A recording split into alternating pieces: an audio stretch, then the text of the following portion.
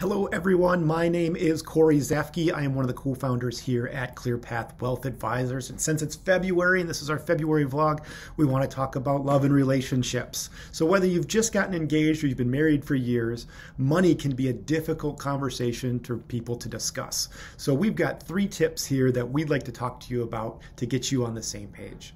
I think the first is recognizing that you are two different people with different visions. And the more that you can have conversations about it, like any part of your relationship, communication is key.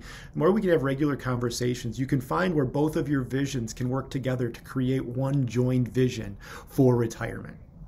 The second thing is going to be allowing yourself to splurge. Now, I'm not saying buy a new house, but if there's a vacation you want to take or a really nice date night, you know, those are important things for your connection. It's an important thing to have a conversation about, and it's also important to include those things in your budget while you're saving. So, allowing yourself to do that. I think the third tip that we have is including your family.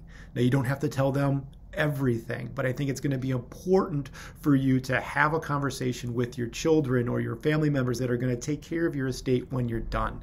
Letting them know your wishes is going to be an important thing. And we know that it's not an easy conversation for everybody. Some families are more open around finances, some people are more closed, but telling people what you want to happen with the house, with your dollars, with charity, with kids, I think it's going to be an important thing. And in conclusion, I think if you can reach out to a financial advisor or somebody who can help you facilitate these conversations, it's a great way to get started. At ClearPath, we talk to people every day getting ready to retire, and this would be another conversation that we could help you with on your clear path to retirement.